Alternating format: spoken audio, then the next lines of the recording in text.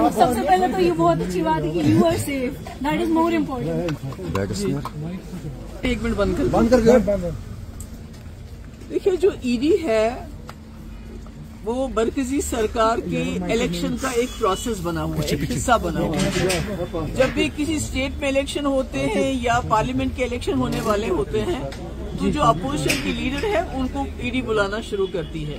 तो इसमें हमें कोई हैरानगी नहीं है, अभी पता नहीं और कितने लोगों को बुलाएँगे।